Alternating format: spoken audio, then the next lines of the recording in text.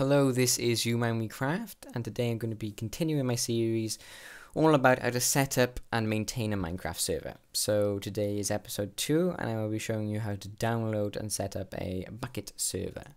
So just create a folder like I have here, and then you want to search Bukkit. Go to bukkit.org, then click on Get Craft Bukkit and it should redirect you to this page uh, and then you want to find what operating system you're on and you want to click on craft bukkit recommended build. This downloads the current recommended build uh, which is stable. So while that downloads I'm going to set up a bat file. You can do this by simply creating text document and then change this to whatever you want. I like to call it start. And then you want to change .txt to .bat. And then, okay. Um, now, if you do not see the .bat or file extensions like that, you simply click on View, then this button by here, View again, and then you untick this. Normally that would be ticked, you need to untick that, and then click Apply. Okay, and then you will see file extensions such as .bat. So once this is finished downloading, you simply drag that over. Uh, take off any things that are added on the end. Uh, we also need to do is remove this end bit by here. So it just says craft bukkit.jar.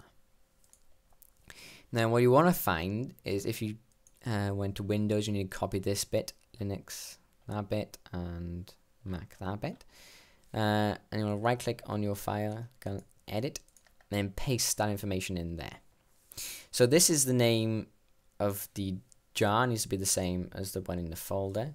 And this is how much RAM is given to your server. So if it's a bit laggy and you might want to up the RAM, you just increase this number by here. Currently it's using 1 gigabyte, which is equal to 1024 megabyte. So you want to close that and save it. Now, when you run the start.bat, it will automatically start up your server. So everything's been created as it was in the last server, but obviously there's a bit more files. What you will notice is there's three files this time instead of a single one. Now this is because the way Bukkit works is it separates each world out. So each world has its own folder. So this is the overworld, nether, and the end. With normal Minecraft servers, this is all within one file, the same as it is when you play in Minecraft single player. So everything's the same except you have a Bukkit YML. Now this is some extra information and settings you get with Bukkit itself. Um, everything is pretty much self-explanatory in here. Um, it's very well changed. Now I will recommend getting something like Notepad++ when you start going into Bukkit stuff because it's a lot easier to change stuff as you go down, as you go through.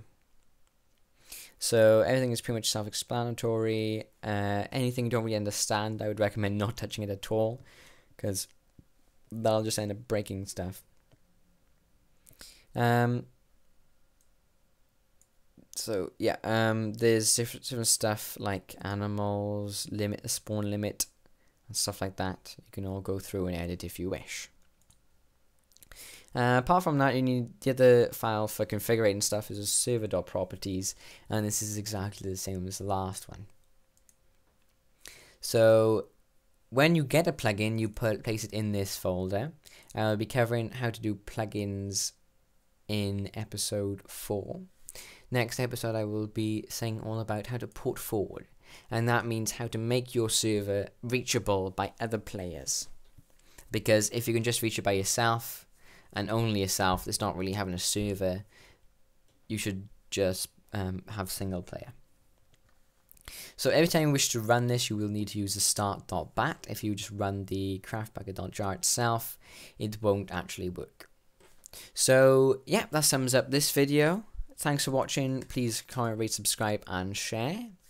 And if you wish to watch any of the other videos, please click on the link in the description and you will be redirected to the playlist. So goodbye.